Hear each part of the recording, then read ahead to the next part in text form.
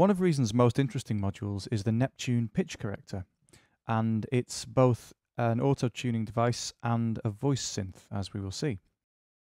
The most common way to use it is as an insert on a track. So here we've uh, isolated a backing vocal, and what I'm going to do is click in its insert area and create a Neptune pitch adjuster. Here it is. Now I've got the vocal soloed up. It's actually a good take, um, so there's nothing that needs correcting at the moment, but you'll see how you can change the pitch of recorded monophonic audio using this module. So if we play it, what you will see is in the central area, you'll see Neptune detecting the pitch and initially trying to uh, sort of show us where the notes are. Superstar, superstar,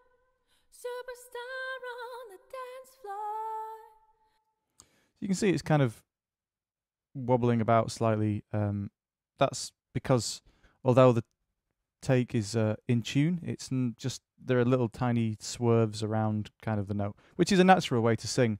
Because what a a- what a pitch adjuster tries to do, if you let it, is make every note absolutely bang on, uh, which is not actually very natural sounding. Hence the robot effect that you can end up with sometimes.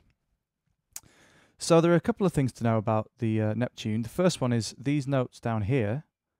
These are the notes which are being used. So it helps to know what key your piece of music is in and what kind of scale it's using. There are several scales here. Chromatic is probably the most common because it's uh, includes pretty much all the notes. If I switch to a major key, you can see we drop out some of the notes here. Natural minor, some of them come back, others disappear. And if a note is not lit, that means that Neptune will skip it basically and ignore that note when it's trying to correct. So it will either correct to the one to the left or to the right. So pitch correction is quite subjective and it's very dependent on the material that you're working with. In this case, On the dance floor. you can see that these catch zone little markers here show how far either side of a note Neptune is going to look. And anything basically that falls within that catch zone will be processed, and anything which falls without it won't be.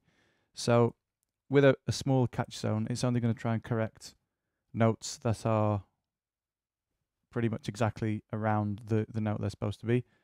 If you raise it up, then it's going to try and correct a much wider frequency spectrum around each note. So if I was to knock out some of these notes, I could create a custom scale for myself. And I can actually create four of these per module and then automate between them. And that's an important thing to know about because it's very unlikely that if you create um, a pitch correction preset that works on a little bit of a take, let's say a first line of a chorus, that might not work on the next line of that chorus because the notes m- would be different. So it's very rare, if not unheard of, that you would just slap a pitch correction preset across an entire track. You almost certainly would never do that unless it was a robot effect.